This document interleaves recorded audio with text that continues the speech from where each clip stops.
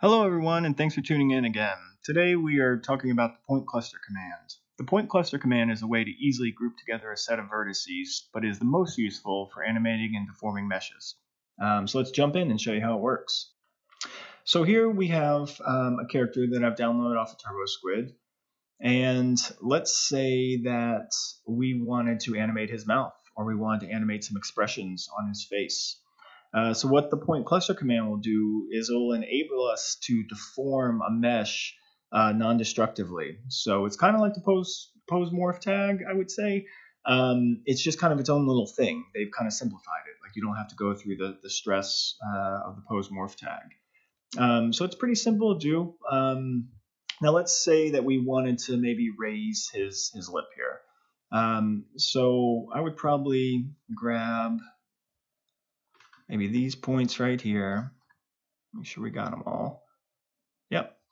So grab those points and let's say that's, that's the cluster that you want. You want those to be a unit. You want them to, to move together. Now, of course, you can you can set that up through expressions, but it's it's a headache, and uh, it sounds like Maxon knows that.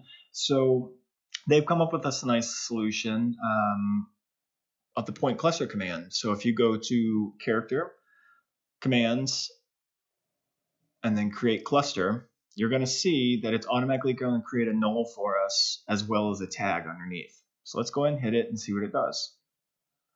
So as soon as it does that, um, we have a, a new null that I created here, face geo cluster null, and that's based on the, the name of the actual geometry that we have. So right away, if we start to move this, we have control. Um, it's deforming the mesh uh, based on these points. So if we go back over here, you'll see that, oops, when I move this, it's also moving our points. So that's cool. But even better, what it does is it gives you this nice little tag down here. So automatically underneath, it creates a null for control, and then it also selects, uh, makes a new tag that is put underneath your object. So if we go to this tag, um, we have a few options. Um, most importantly, I'd say strength. So we can easily just say, hey, I want it to animate from 0 to 100. Um, it doesn't look like you can go beyond. Um, let's see if we can. No. Okay, so 0 to 100. Maybe there's a way to do it through expressions. So that's great. So what it's doing is it's essentially giving you a vertex map. So if we come over here, it's also added a, a vertex weight map for us. And we can see that by clicking on it, and we can see where our uh, weight map has been painted. So this is really cool too, because if we want to actually go in and paint this and alter a little bit, uh, we can do that. So let's go to character, and let's go to, where is this? Ah, wait, uh, paint tool. There we go. Um, and then we can come in here, and we can just paint a little bit more. So now when we go back over here and we go from 0 to 100, it's affecting more. That's cool. Uh, you can only get away with so much. Once you start getting too far out of the, the selected point area, uh, it starts to break, uh, which would be expected. That's cool. And then let's say we want to put another one on. So let's maybe do the eyebrows. So let's go to the eyebrows and let's go here and here, here, and here.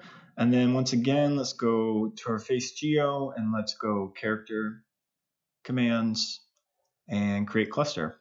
So we're given another uh, null that is our um, control null.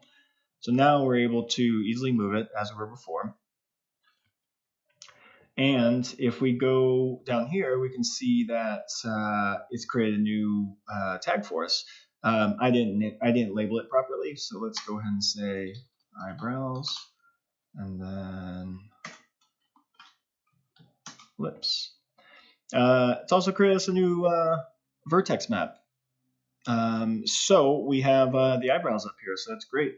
Uh, once again, we can alter them um, as we did before. Another option you have is to add fall off to these point clusters.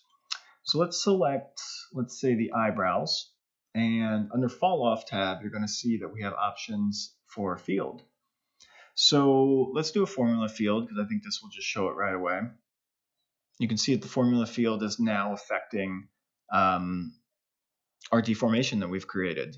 Uh, we could also do, let's just switch this to a linear field. Let's turn that one off for now. And now you'll see when we come over here, as it crosses it, it affects it as it goes through, which is pretty cool. I mean, I don't know when I would actually use it, but I could see how there could be a need for it at some point, especially if you're if you're factoring in, um, you know, the the possibilities of fields.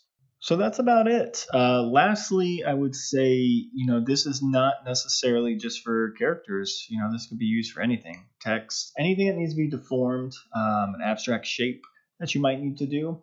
Um, it just kind of simplifies the process of uh, of having to set up a rig. You know, it's it's almost like very simple rig that you can create um, in no time. So I hope you enjoyed this tutorial, um, and I'll see you on the next one.